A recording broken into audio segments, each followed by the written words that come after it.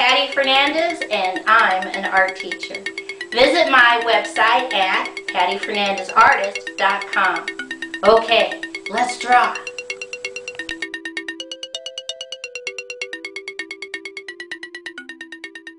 Today's project is how to draw Zeus. I take two fingers in the center and underneath I put a dot.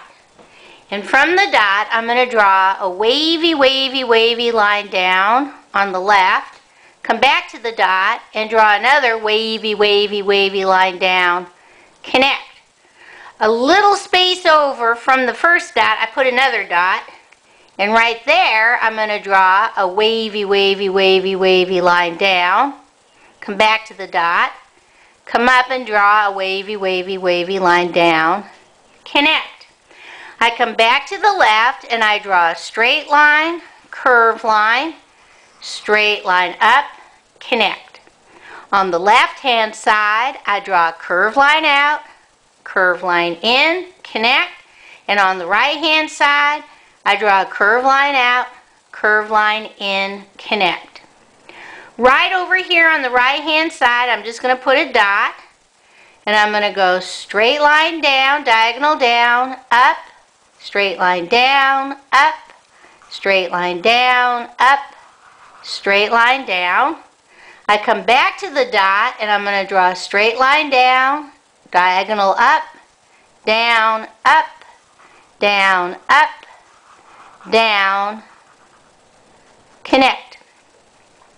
I come back up to the top, right above the dot, and I'm just going to draw a wavy, wavy, wavy line down and stop, leave it floating, go back to the dot, wavy, wavy line down, and leave that floating.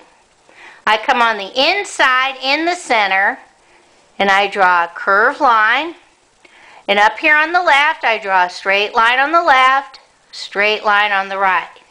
I come back to the left and I draw a little half circle on the left and a little half circle on the right. I'm going to fill these in while I'm here and here. Now I come down and right here in the center of the curved line, I go curved line out, in, out, in, out, in, up, Come on the right hand side, out, in, out, in, out, in, curve line up, connect.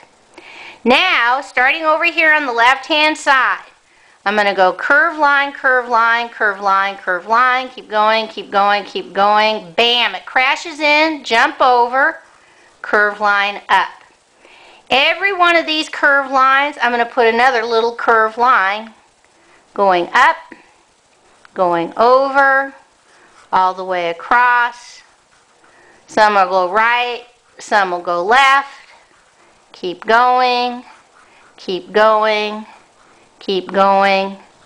There we go. Okay, now that that's done, I can come back to this curved line or wavy line, connect it to the left, connect it to the right, and now add more wavy lines.